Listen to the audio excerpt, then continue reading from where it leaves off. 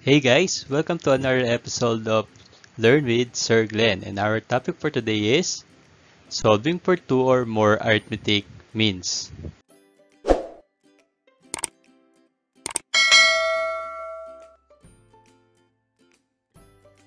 Finding a single arithmetic mean of arithmetic sequence was easy. Just simply use the formula a sub 1 plus a sub 3 over 2. But what if you are looking for two or more arithmetic means?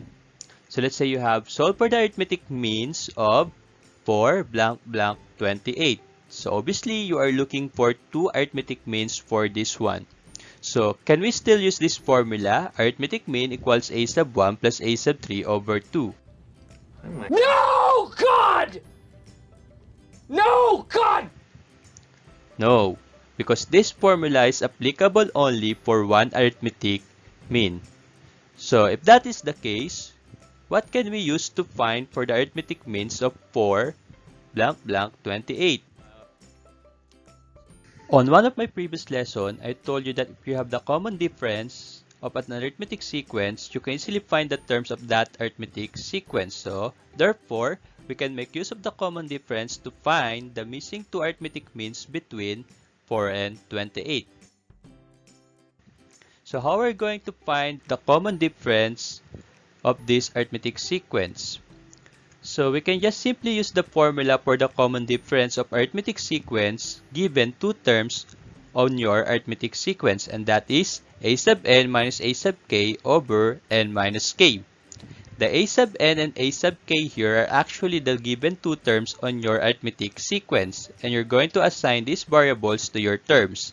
So for this one, I'm going to assign a sub n as 28 and a sub k as 4. So a sub n is 28 and a sub k is 4. So the n and the k here are the position of a sub n and a sub k respectively. So n is the position of a sub n. So since a sub n is the fourth term, n is equal to 4. k is the position of a sub k. So since a sub k is the first term, k is equal to 1. So now we can now use the formula by replacing the variables with the values that we obtained. So a sub n will become 28, a sub k is 4, n is 4, then k is 1. So when you solve for this one, 28 minus 4 is 24. Then 4 minus 1 is 3. So 24 over 3 is equal to 8. So the common difference is 8. So what are we going to do with the common difference? We're going to use this to find the terms of your arithmetic sequence. So if you want to find the next term after 4, you just simply add 8 to 4, which will give you 12.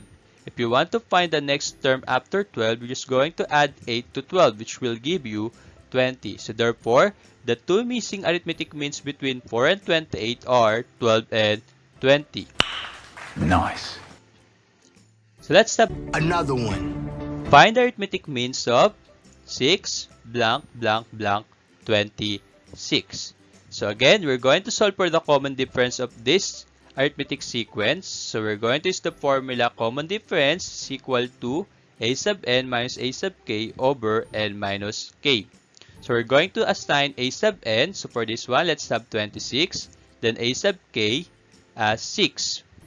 So a sub n is equal to 26. A sub k is equal to 6. So now let's have the n. So since a sub n is the fifth term, n is equal to 5. And a sub k is the first term, so k is equal to 1.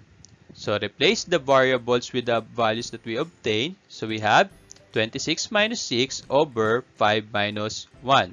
So we solve for this one. 26 minus 6 is 20. 5 minus 1 is 4. So 20 over 4 is equal to 5. So the common difference is equal to 5. So we're going to use 5 to find the next terms of your arithmetic sequence. So we will have 6 plus 5, 11. 11 plus 5, 16. 16 plus 5 is 21. So the missing arithmetic means between 6 and 26 are 11, 16, and 21. Nice. Okay, so let's have our last example for this.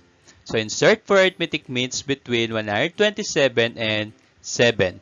So since we're looking for four arithmetic means, we will have 127 blank blank blank blank 7. And the same with what we did on our previous example, we're going to use the common difference to find the terms on this arithmetic sequence. So the common difference is equal to a sub n minus a sub k over n minus k. Then we're going to assign a sub n and a sub k. So I will use 7 as my a sub n and 127 as my a sub k.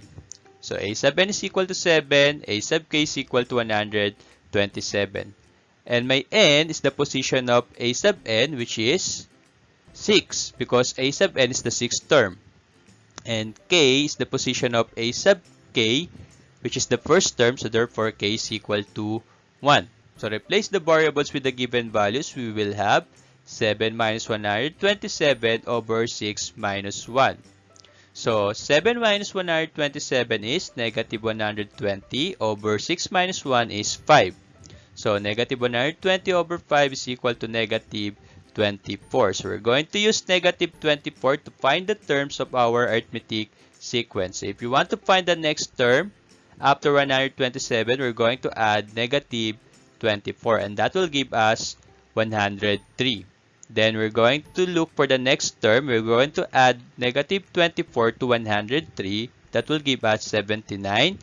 Then we add another negative 24. So we will have 55. Then add another negative 24. And that will give us 31. So the four arithmetic means between 127 and 7 are 103, 79, 55, and 31. Nice. So that's it. So thank you for watching and I hope you have learned something from this video.